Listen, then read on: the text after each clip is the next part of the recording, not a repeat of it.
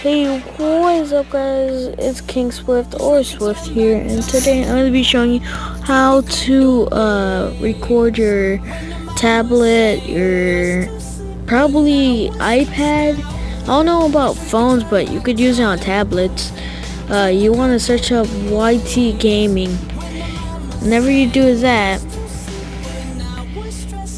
oh, I spelled it wrong but you should see this and then you want to just download it and then you have to sign to your account and everything and then you want to go live and then like you'll press like go live or um uh oh or record and then you can uh you can put which fps how much you fps you want so uh, you whenever you press that, you can pick what app you're gonna record on, and then whenever you do that, you'll bring it to your thing, and then you can like set up what, uh, like where, like how it would look.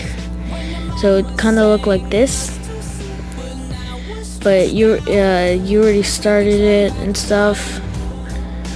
I so that's pretty much it.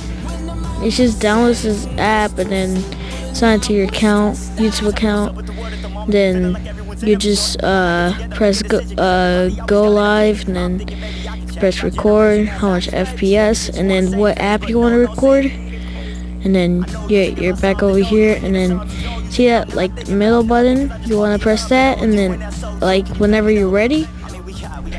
And that's pretty much it. You can use the pause button, uh, button that's to the right of it. And uh, yeah, it's been King Swift, and I'm out.